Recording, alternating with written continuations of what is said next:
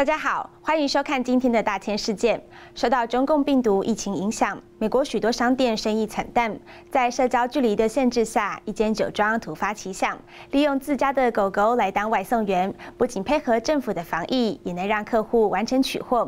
在这艰难的时期，狗狗的加入改善了商店的营运，也让顾客感到惊喜。老板娘把要给顾客的商品放到狗狗背上的专用背包，接着两侧各放入一瓶酒。准备就绪后，狗狗跟着主人到门外的走道上协助送货，完成交易。在美国马里兰州的一间酒庄，为了配合保持一百八十三公分的安全社交距离，特地派出狗狗外送员。这种新奇的送货方式，让前来取货的顾客感到非常欢乐。This is the best thing ever. I am a huge uh, animal lover, especially dogs. And when I saw an article about uh, soda delivering the wine, I was like, we have to come right away. And I was out of wine. So it worked out even better. 这只十一岁的全狮犬苏打是酒庄合伙人洛里亚塔所饲养。他用社交媒体发布狗狗苏打的送货服务，让顾客不仅可以买到自己喜欢的饮品，并保持安全的社交距离，而且吸引了许多喜好动物的顾客。所以在这困难时期，狗狗苏打的加入改善了销售业绩。We are the only female-run, totally run winery in Maryland. So again, we're we're proud of that, and we're we're holding our own. We're doing good. Well, then again, I guess you can't count Soda, because he's not a female, but he's helping out as well. 苏打已经成为酒庄不可缺少的一部分。苏打在完成任务之后，会得到奖励及受到主人的赞扬。直到目前，在美国没有宠物确诊的报道，也没有相关的证据表明宠物会将病毒传染给人类。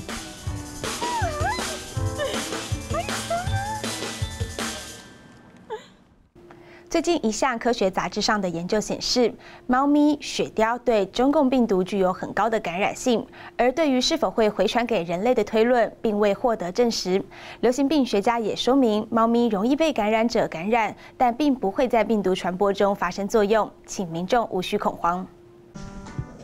日前发表于科学杂志一份研究显示，猫可能会感染中共病毒，但狗、鸡、猪、鸭似乎属于不易受到感染的类别。该研究旨在确定哪些动物容易感染该病毒，希望能将其用于对抗中共病毒的实验疫苗测试。研究结果发现，雪貂猫具高感染性，但并未有会传染给人的证据。根据世界动物卫生组织，近来有香港狗、比利时猫咪通报疑似感染的事件，确切证据仍然不明。世卫组织流行病学专家玛利亚则警。我们不认为他们在传播中发挥了作用，但我们认为他们可能会被感染者感染。不久前，纽约布朗克斯动物园一只老虎出现干咳和食欲不振的症状，经检测确诊感染中共病毒。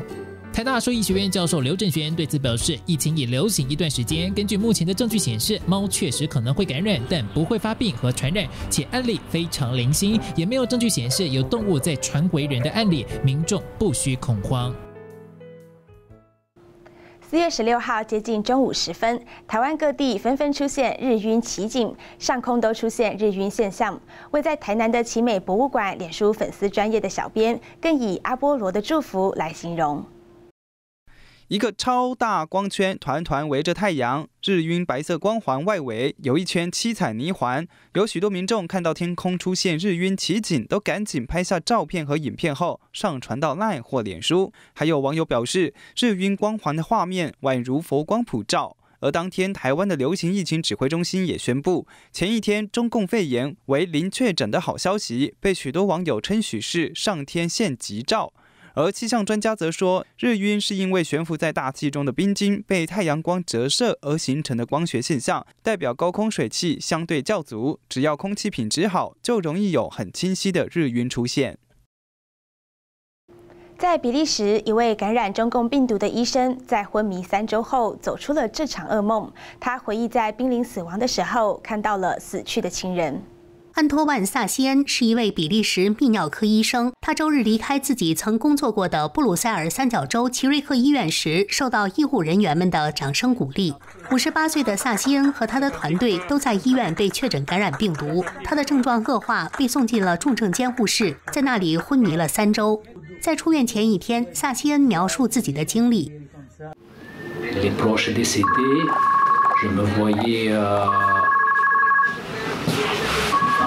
faim, quoi.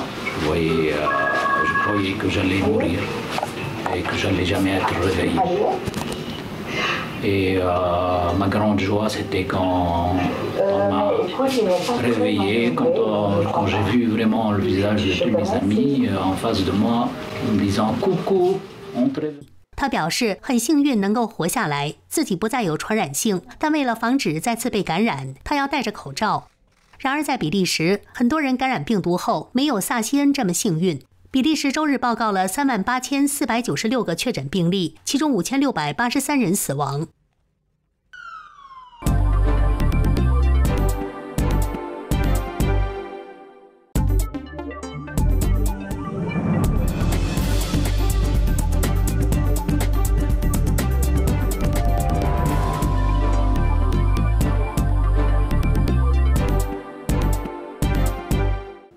兔子造型的巧克力是欧美国家在复活节期间不可缺少的商品。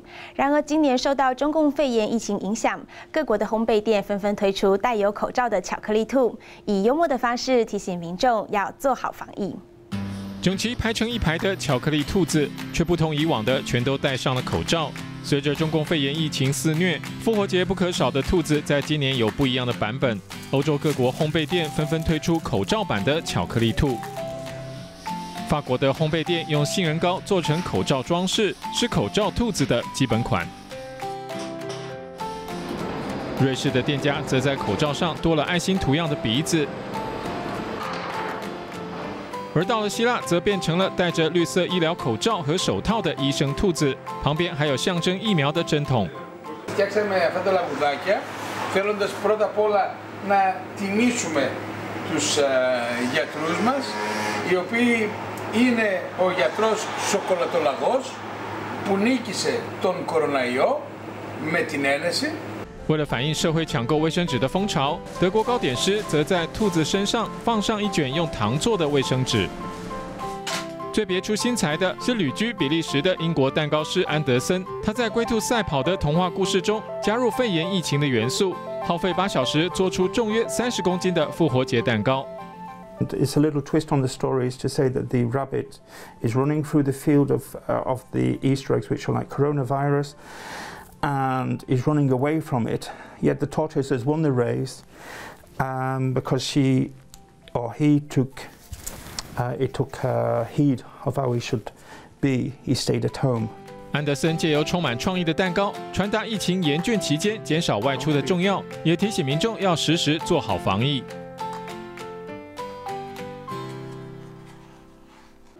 美国阿拉巴马州莫比尔湾水下约十八点三公尺处，藏着一处已经有六万年历史的上古森林遗迹，直到两千零四年才重现光明。探险团队去年底进行水下远征，带回了一节古墓，并在当中发现不少新品种细菌。科学家推估，大约在六万年前，这片森林的老树枯倒，被沉积物覆盖，再被升高的海洋淹没。直到二零零四年的一个飓风扫过海床和沉积物，才让曾经的古森林重现光明。而去年的探险活动所采集到的古墓，因为被沉积物覆盖，就像被锁住六万年，保存状况非常完好，还能见到表面树皮和内在颜色。研究团队移除超过三百种生物，并专注研究可将木材转化为动物组织的传度，从中取出一百个菌种。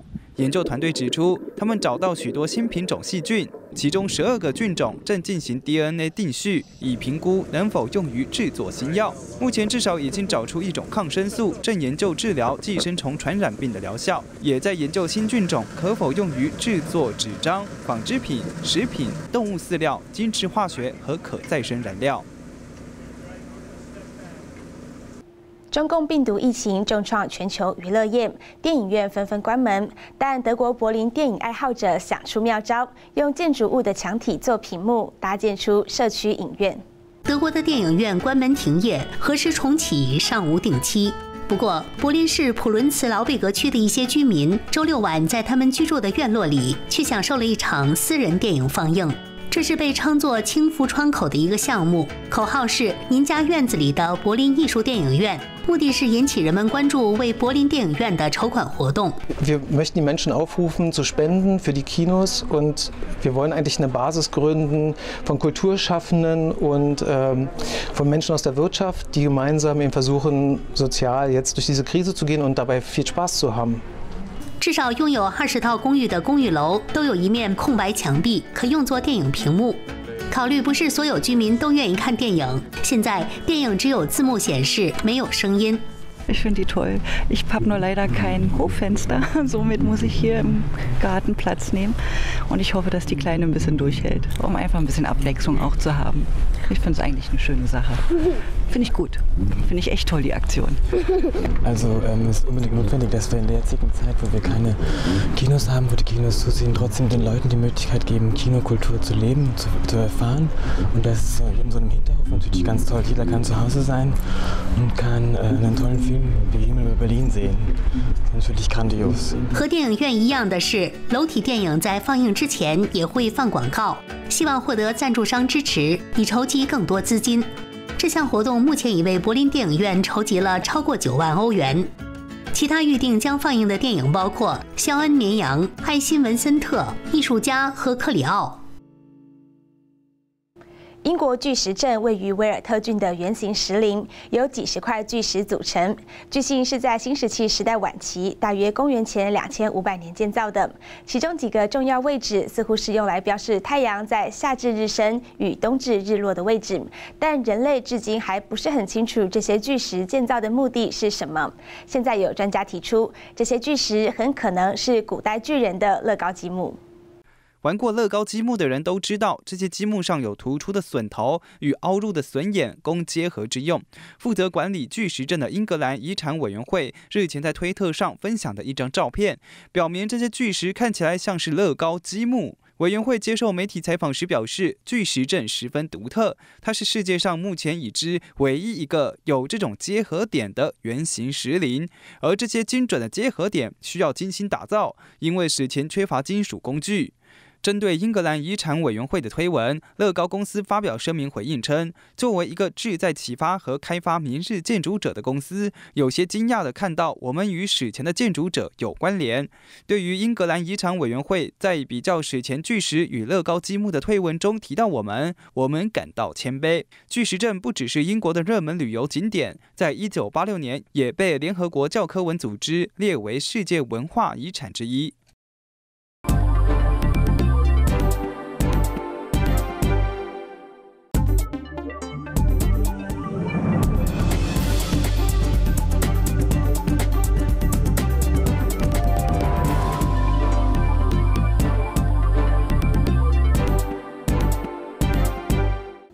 为了阻止中共病毒蔓延，各国纷纷加强国内防疫宣导。在台湾，中央流行疫情指挥中心天天召开说明会，并制作宣导影片、架设专区网站等。而在电视与网络比较不普及的印度及玻利维亚，政府用创意的方法向国人宣导防疫规定与卫生观念。随着中共肺炎确诊病例持续增加，印度已有八千四百四十七例，两百七十三人死亡。印度总理莫迪于三月二十四日宣布为期二十一天的全国封锁。印度西部苏拉特市代理警察局长尤夫拉克希尔带领警察队佩戴奇特装备，挨家挨户向居民和摊商进行宣导。印度警察穿戴上装饰着冠状病毒的红色头盔、警棍和盾牌，对所有路过的民众，不论是走路、骑车或开车，一个个拦下，呼吁他们应留在室内并保持社交安全距离，提高民众对中共肺炎的认识。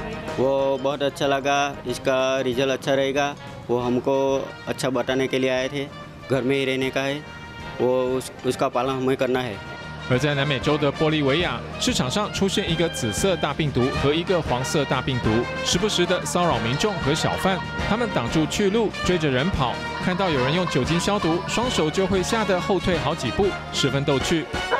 这是玻利维亚警察向大众宣导中共肺炎防疫的方式。病毒已在公众场合传播，任何地方都可能感染病毒。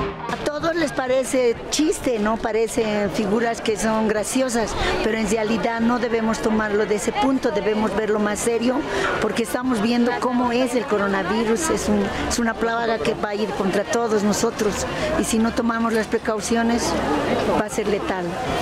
玻利维亚截至目前有两百七十五例，二十人死亡。政府已开始在全国进行检疫，并关闭国界，限制公众集会及居家隔离。中共肺炎疫情在英国造成超过九点四万人确诊，一点二万人死亡。英国一名九十九岁的二战退伍老兵摩尔，因为曾受惠国民健康服务医疗人员协助治病，主动发起募款防疫，并挑战在这个月底百岁大寿前，以助行器绕行自家花园一百次。没想到获得热切关注，筹款金额已经突破一千八百万英镑，而且金额还在持续增加中。陆军尚未退役的摩尔，二战期间曾在印度、缅甸、印尼苏门答腊服役。他摔伤臀部后，常年靠助行器和轮椅行动。即将在四月三十日欢度百岁生日的他，许下宏愿，要在百岁大寿前完成靠助行器在英格兰南部自家花园绕一百圈的挑战。目标是帮 NHS，也就是英国国民健康服务募款一千英镑，以感念医护人员抗疫的辛劳。